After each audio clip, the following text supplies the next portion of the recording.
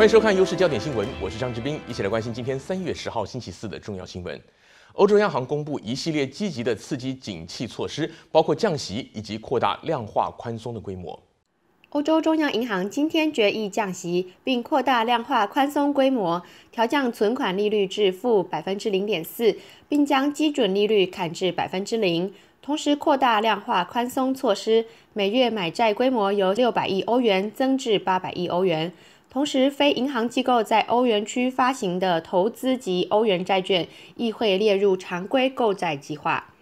欧洲央行行长德拉吉表示，石油等商品价格持续滑落，欧元区减息及扩大量宽是要制止通胀偏低而影响整体经济，避免产生第二轮效应。欧洲央行预料，欧元区今年通胀为百分之零点一，远低于早前预期的百分之一。德拉吉说，减息有助银行向实体经济拆借更多资金。他预期欧元区经济复苏步伐温和，相信推出新措施会为欧洲经济回复注入动力，并预言欧元区主要利率在未来一段时间将维持当前水准，甚至比目前更低。威斯康星州血液感染的疫情持续扩大，目前有十八个人死亡。当局怀疑和脑膜脓毒性金黄杆菌有关，目前仍然在持续寻找传染源当中。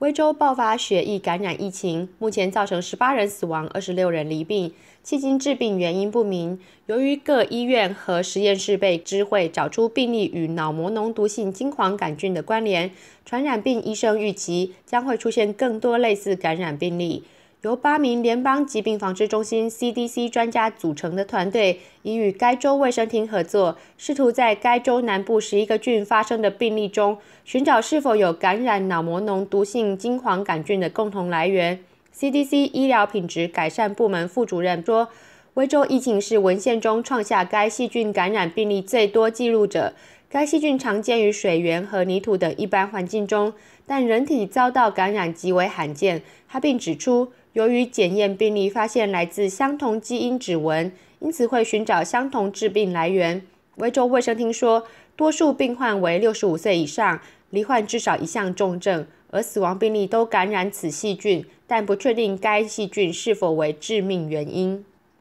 在总统大选的消息方面，民主党昨晚在佛罗里达州举行了总统参选人的辩论会，喜来利和桑德斯都力争拉丁美洲裔的选票，并且誓言推动移民改革。而在共和党方面，川普则开始放软身段，呼吁党内团结拼大选。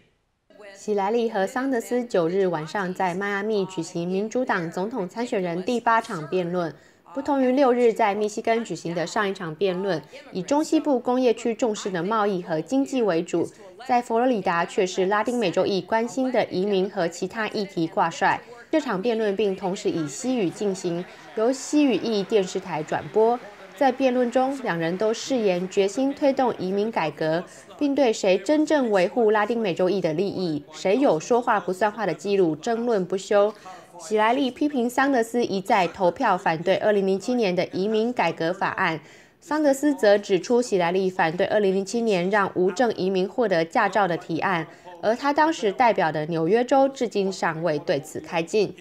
共和党方面，总统参选人川普在八日初选中又获得三州胜利后，眼看提名胜利在望，九日放软身段，开始呼吁党内团结。称赞众议院议长莱恩是他敬佩的人，并鼓励二零一二年共和党总统候选人罗姆尼维护党内团结，强调只要党支持他，在十一月总统大选中必胜无疑。不过，他的竞争对手们也想尽方法把握最后的机会，严防川普在影响重大的赢者全拿的佛罗里达州与俄亥俄州初选中获得不可逾越的党代表票领先优势。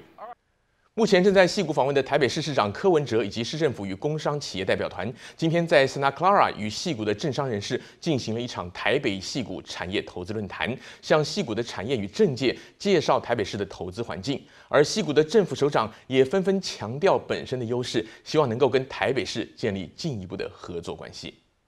参与这场论坛的人士包括台北市市长柯文哲与代表团的成员，以及 Cupertino 市市长张昭富、Milpitas 市长艾和协、Fremont 市长 Bill Harrison、副市长高旭佳，以及 Santa Clara 县议会议长 Dave Curtis 等地方首长。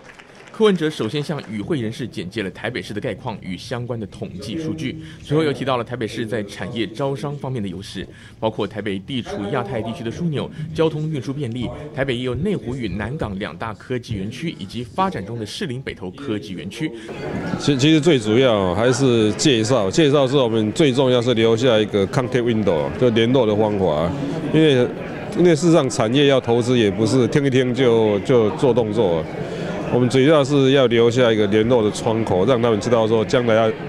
要在台北市政府哪个单位联络，来来进一步探讨这些问题。而本地的几位市长也提到了，如果台北与当地合作的话，能够提供哪些协助。Fremont 市长 Harrison 强调当地的环保科技产业与制造业的发展优势。Cupertino 市长张昭富表示，当地有包括苹果公司在内的众多世界一流科技公司，并且建议台北市在 Cupertino 设立办事处，近水楼台先得月，并且建议改善台湾的公厕与残障设施等等。Milpitas 爱和谐市长则表示，亚裔特别是华裔居民是当地的骨干，而该市位于 Fremont 与圣荷西之间，交通便捷。圣荷西市府经济委员会主席也强调了，当地高科技企业与人口众多，是新科技的梦想之都。柯文哲随后表示，台湾的地方政府应该要效法戏谷各城市之间的互补与合作的精神，而戏谷还有很多值得台北市效法的地方。